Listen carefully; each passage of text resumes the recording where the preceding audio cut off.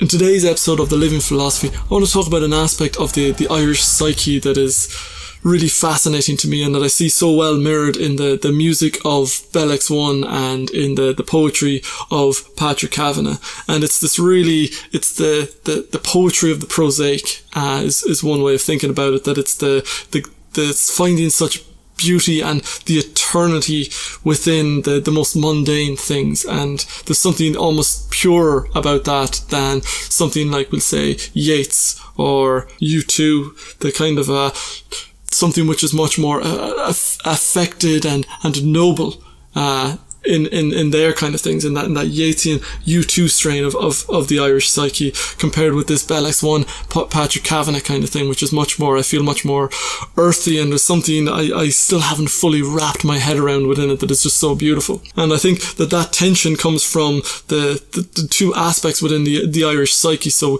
I've always felt that the, the Irish psyche was, was a divide with one hand in heaven and, and one hand firmly planted in the earth and this weird I guess I guess it's it's you can see it as the, the product of our history in the sense of we are a people that are have been very very religious very very Catholic and on the other hand very much an agricultural nation, very much a, a, rural nation. And so it's, it's that connection to the earth, which I've always loved in Patrick Kavanagh and that I see really Bell X1 as being the, the kind of inheritors of that, the, the transmitters of that. And it's, it's so, it's so beautiful. So even on this idea of this distinction between the, the two poles of the Irish psyche, there's a great line in one of the, one of Bell X1's songs called The Trailing Skirts of God, which is kind of about uh, our relationship to our religion in, in the modern Irish psyche. And in the song, he's, he's starts off the first verse is having his Holy Communion and then the, the second verse is going through his confirmation and taking that promise. And I promise to abstain from intoxicating liquor, but the flesh, it is weak and my faith was never stronger. And I think that that captures it so well. It's that, that tension between the, the faith and the flesh that is, that is that, that distinction within Irish society. And I think that that's something so beautiful. I guess you could look at it even within alcohol. Alcohol is, you call it spirits, you know, and spirits are, you know, there's, there's the Holy Spirit, but also there's the, the complete earthiness of alcohol, of the, it, it makes you into a bit of a loon, a bit of a, you go, you go a bit mad, you go a bit wild, and it's, it's, it's that thing of you become much more human through alcohol, and yet it's the spirit. It can also release you of your, your inhibitions and transport you to, to a different state of consciousness and, and a, in some sense it's a higher state of consciousness, I guess, in, in a Dionysian kind of orgiastic kind of way. And there's something tangled up in that that I see with Bell X1 and with, with Patrick Kavanagh that's so beautiful. So Patrick Kavanagh has this one poem called Pilgrims, which I think is just such a, it's, it's, it's such a, a blend of everything Irish. He's got the, the humor in there, he's got the religion, and he's got that earthiness. And so here's, here's how it goes. I saw them kneeling by the holy well. It was for life, life, life they prayed. Life that for a farmer is land enough to keep two horses. Life that is a healthy husband to a maid. I saw them climbing the holy mountain. It was the knowledge, knowledge, knowledge of life they pursued. Knowledge that is in knowing what fair to sell the cattle in. Knowledge that is being able to cart an acre from a field. I saw them lying on the burning stones. It was vision, vision, vision they desired. Vision that is forecasting a mare's hour of foaling. Vision that is catching the idler newly hired. I saw them kneeling, climbing and prostrate. It was love, love, love they found. Love that is Christ green walking from the summer headlands to his scarecrow cross in the turnip ground. And that last image of that poem, I think, is just a cracker. This idea of Christ walking across the field to uh, take up the place of the scarecrow, and it's it's such a it's such a beautiful combination of that that Irish wit, that Irish religiousness, and the earthiness of of looking to protect your protect your crops and protect your field. It's it's so um, inspiringly earthy and it's that mix of the it's prosaic because it's such everyday things you know they're they're they're thinking about the the idler on the on the farm. They're thinking about carting carting an acre from the field. What what fair to sell the cattle in and the protecting the turnips from the scarecrow. They're such everyday prosaic kind of things. But in taking that and turn it into poetry it, it kind of it eternalizes that it, it captures something that is true about humans always and everywhere. And in some sense, that's much more rich in truth and beauty than noble ideals about angels and higher love and God that is the, the oneness and the, the non-dualism. Or enlightenment. You know, it's, it's, it's these things which are very lofty and which you'll find much more in Yeats. You'll find much more in the, the lyrics of, of some, someone like U2. But there's something in this earthiness, the, the prosaic poetry that is just, it's something that's eternal that can appeal to all humans everywhere because it's, it captures, it gets closer to the human condition itself. And in the, the very details of the individualism, the very most personal details. And Brene Brown is such a great source for this, talking about how you reveal your, what you think, I thought it was just me. And the things that are so personal turn out to be the most universal because humans were all more or less wired the same. We've got the same insecurities, uh, but the, the, those same insecurities tell us we're different, tell us we're special, tell us that this is unique, when in fact, there, our uniqueness is shared. Our uniqueness is, is common to all. And I think that's something so fascinating. I still haven't fully wrapped my head around it, but it's, it's, it's, it fascinates me. And I've just kind of been circling it a lot recently. And so been listening to more of Bell X1 again recently. And they're one of my favorite bands ever. They're just, the the lyricism is just so it's it's amazing. I think their lyrics are all written by the the singer Paul Noonan, and just they are just some of them are, are amazing.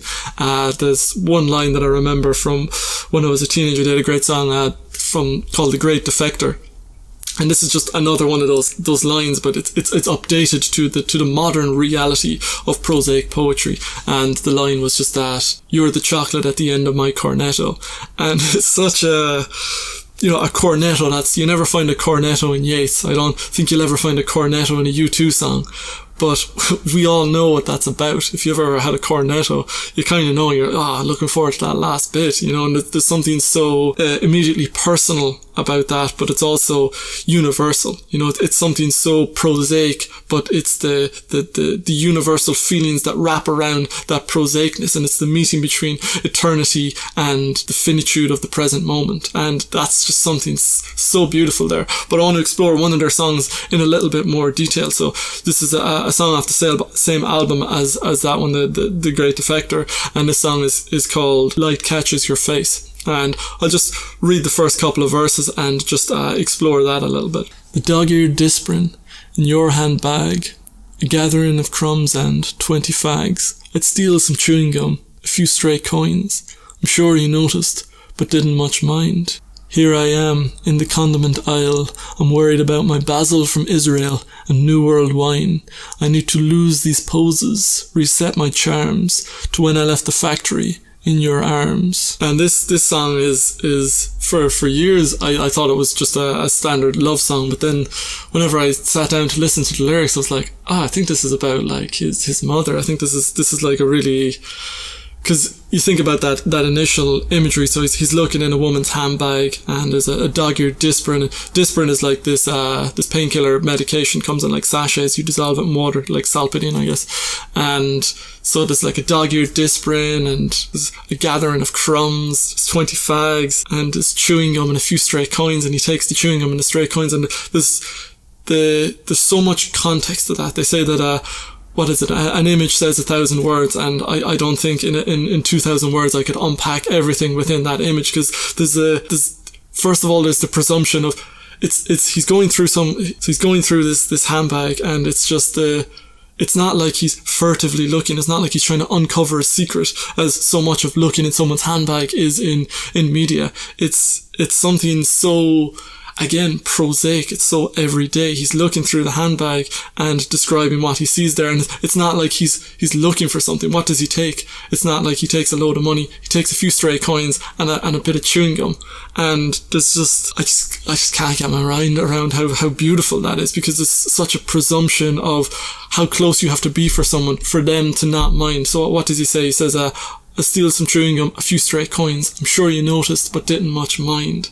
And for that to not be a violation, for that not to be, how dare you break into my handbag, it's just that closeness of a, of a mother and a son. It's, it's that thing of like, I feel like even within a relationship, you'd be like, hey, what are you doing taking stuff from my handbag? Yeah, maybe in a lot of relationships that'd be fine. But it's, it's the, the unconditional love of, of a parent for a child. And I think it's, probably the only place where unconditional love is appropriate. So there's, there's, there's so much context there within the fact of why is it okay for him to be going through someone's handbag and why is, why is he only taking some chewing gum and a free, few stray coins? It's just this, it's, it's so everyday that taps into that eternal thing of like the the relationship between uh, a parent and a child that's been around for you know as as long as humanity. So sure, it's not talking about the loftiness of you think of U2's one and love is the higher law, and it's yeah, it's like there's such beauty and it's it's it's it's very lofty in in that sense. But the, there's something within this which is so so much more eternal. I feel it's it's the meeting between infinity and and and the ultimate finitude, the ultimate, the most personal, finite uh, peculiar thing of of a mother's handbag and a gathering of crumbs and 20 fags and it's that meeting of eternity and and and the present that is so beautiful.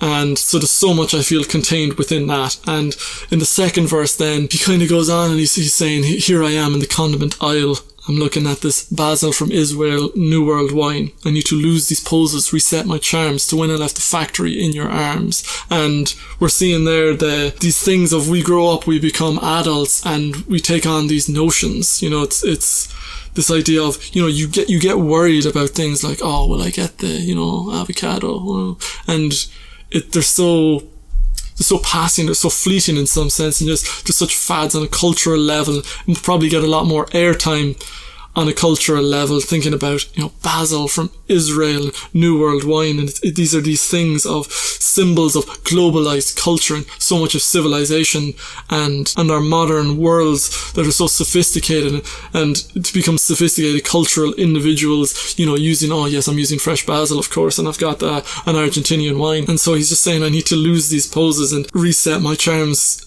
and that that thing of the when I left the factory in your arms that's coming out of the hospital in his mother's arms you know that's it's that thing of being a child it's, it's such a different experience it's such a different worldview and there's that eternal relationship between the mother and child there. So it's he's kind of tapping into that which is just it's just it's so such a beautiful way of, of saying it again. Basil from israel and new world wine is the things we can all relate to. These are all things we're partaking in. This is a shared culture that we have.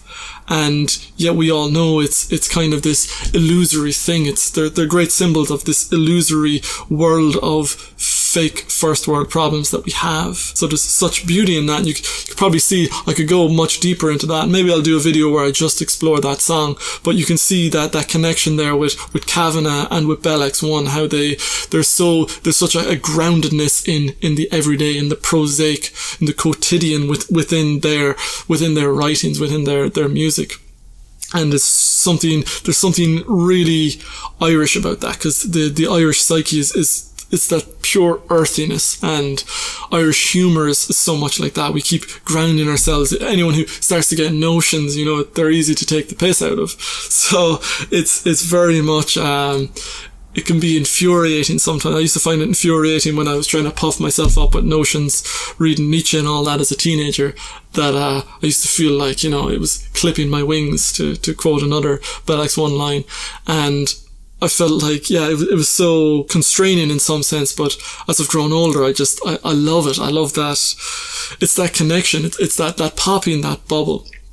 And there's another story that comes to mind here, and it's it's of a, a, friend of mine worked for a multinational in, in Ireland, and this is a great illustration of the difference between the American psyche and the Irish psyche. So there was a two companies merging. So this multinational company were merging with another multinational company to form a massive multinational company. So he was invited to this party uh, down in another county, and so he went to the headquarters and they had this big TV screen up, and you could see the American side of the organization, and someone made a speech, and then people were going mad. He told me he told like people were really going crazy, kind of celebrating this. And it was as if they'd won some award themselves as individuals that they were so amped up and so pumped up. And so he's talking about being at the, the Irish event and everyone is just like dour face, just like, what? This, this is, this has no effect on me. This is not, this is not my achievement at all. This is, there's no gain here for me. There's no, I didn't do this. Why, why would we be celebrating? And it's that authenticity of the Irish. And someone was trying to rile up the Irish. Come on, Ireland, I can't hear you.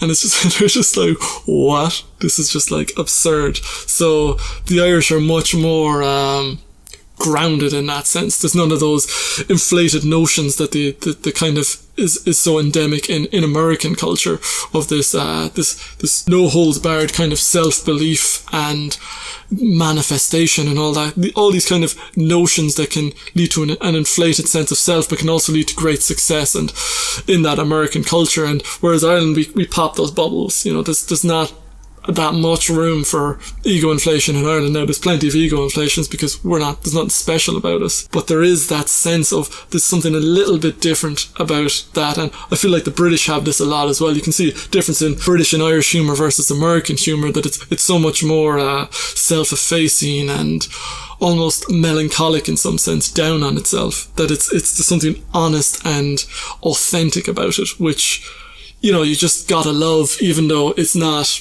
perhaps as as upbeat and and happy, eternally happy as that American mindset. But it's it, there's something I don't know. It's, it's very funny. The the Irish humor is, is very interesting, and just that that is part of Irish culture as a whole. Just that that image of it was such a, a an easy way of illustrating that difference between America and Ireland. Of that, yeah, just no notions. Just like ah, this is not what. Why would I be celebrating? And so I think it's that you see that connected in with Bell X1, that like that thing that you're the chocolate at the end of my cornetto. That's so, that's such a grounded, like, image that we can all relate to. And Kavanagh has a, another poem uh, addressed to an old wooden gate, which I, which I love, which I, uh, again, I might do another episode on, but it's just, they're, they're such, earthy things, things we can all relate to, which are eternal, which are authentic, because they're not joined into these notions of great uh, cycling gyres of time and becoming eternalized in Byzantium, which you might see in, in a kind of a, a Yeatsian paradigm or even Joyce's audacity with what he does. It's, it's, that is an, another genuine part of the Irish soul but it's this it's it's this earthiness which I feel is is more endemic to Ireland, is more indigenous here, and is, is such a, a genuine, authentic part of the Irish soul. So that's just what I wanted to explore in today's episode of the Living Philosophy. I hope you've enjoyed it. If you have, please subscribe if you haven't already, and please don't forget to give us a, a thumbs up. And love to hear from you down in the comments. And yeah, I shall see you next time, guys. Thank you for watching.